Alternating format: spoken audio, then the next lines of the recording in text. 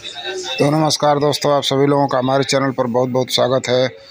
दोस्तों, आज की हमारी सेटेलाइट है नाइन सेट यूटल नाइन सेट हम इसे उल्टी डिश पर सेट किए हैं।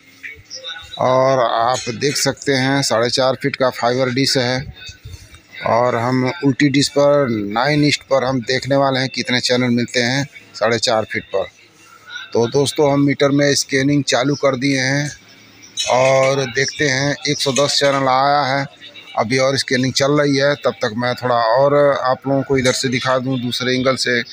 एलएमबी किस तरह से ऊपर को पहुँच रही है, वो मैं आप लोगों को दिखा देता हूँ। अगर यही सीधा पर अगर इसे हम करते तो काफ़ी जो है छतरी आगे मुँह को, खड़ी से भी नीचे को झुक जाती यानी कि जिस तरह से पीछे को झुकी है, उतनी आगे को झुक जाती सीधा से भी।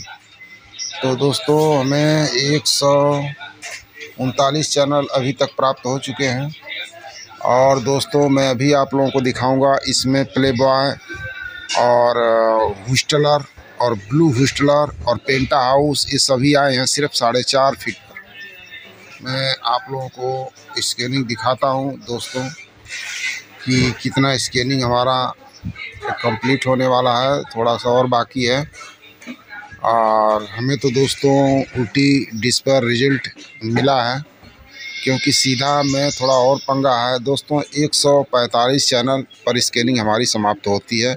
145 चैनल मिला है, साढ़े चार फीट डिश पर।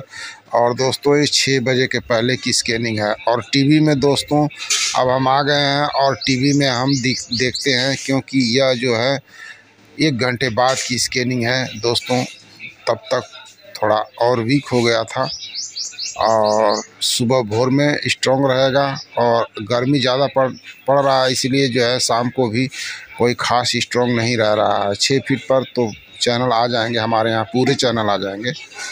और दोस्तों, इसके सिग्नल से ज़्यादा सिग्नल हमारा सेवन का स्ट्रॉन्ग है, लेकिन सेवन पे चैनल कम है दोस्तों। छियालीस ही चैनल मुझे मिले थे।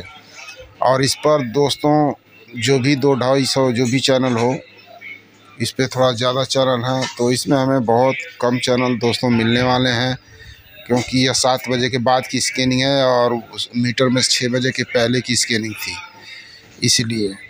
तो दोस्तों, मैं आप लोगों को जो है भोर में किसी दिन ट्राई करूँगा कि यहाँ कौन सा ग्रीन होता है, कौन सा नहीं ग्रीन होता है। तो दोस्तों, इसमें स्कैनिंग हमारा चालू हो गया है और देखते हैं कितने चैनल आते हैं। तो कुछ चैनल आ गए। स्कैनिंग चल रही है। तो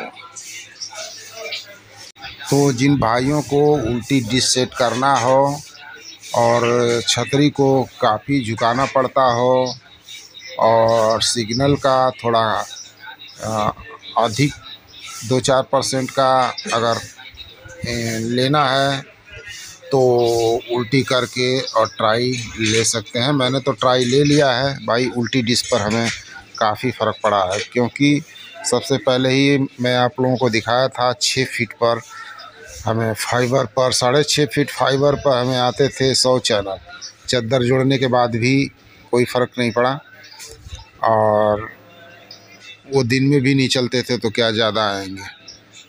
और उल्टा करने के बाद मुझे 219 चैनल मिला। तो यह काफ़ी फ़र्क पड़ा है। दोस्तों, अभी तक 40 चैनल मुझे मिल चुके हैं और मुझे तो लगता है यहीं पर इसका, स्कैनिंग ख़त्म होती है दोस्तों।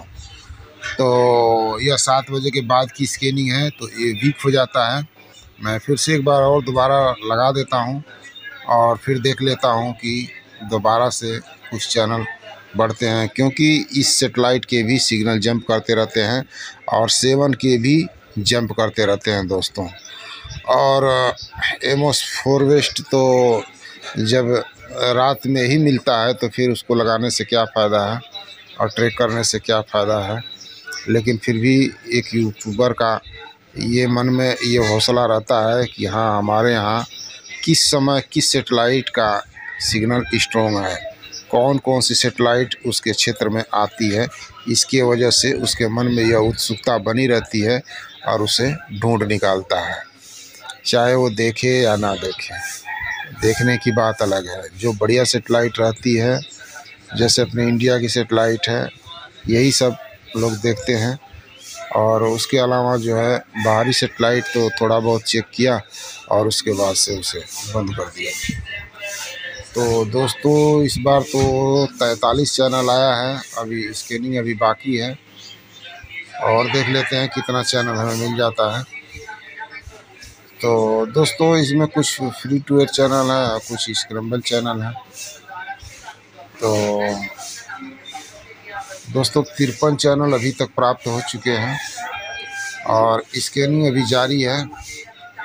और 80 परसेंट स्कैनिंग हो चुका है। 80 परसेंट स्कैनिंग पर हमें तिरपन चैनल प्राप्त हो चुके हैं और आगे देखने वाले हैं कि हमें कितना चैनल मिल चुका है। दोस्तों, बानवे परसेंट सिग्नल और पंचानवे परसेंट स्कैनिंग यानी कि स्कैनिंग समाप्त होने वाली है दोस्तों, वीडियो।